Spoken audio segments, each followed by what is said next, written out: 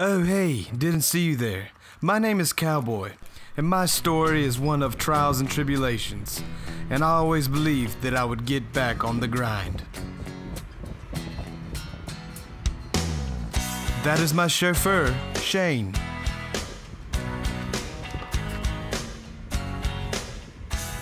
Let me tell you about my life. I grew up a happy pup, eager to see the world. I found this little guy in our boathouse and took care of him. Like me, he loves to sleep.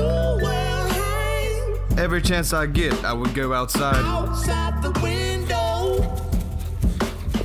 Beautiful and strange. This adorable goofball is great. He also likes to spend his time outside.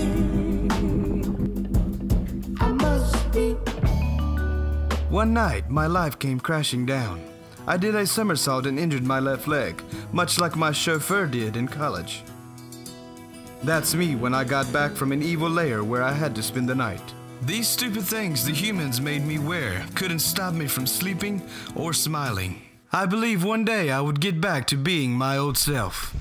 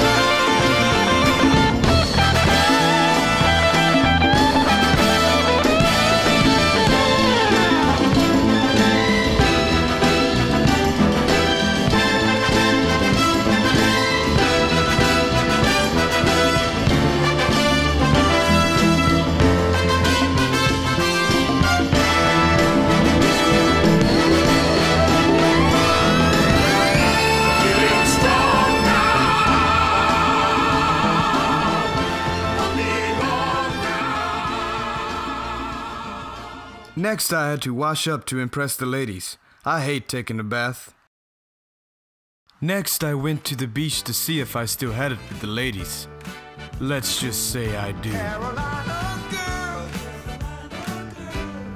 best in the world. Thanks for joining me today. Right now, I'm late for a Valentine's Day dinner, so I have to be leaving. Since my saddle up and find me another wind.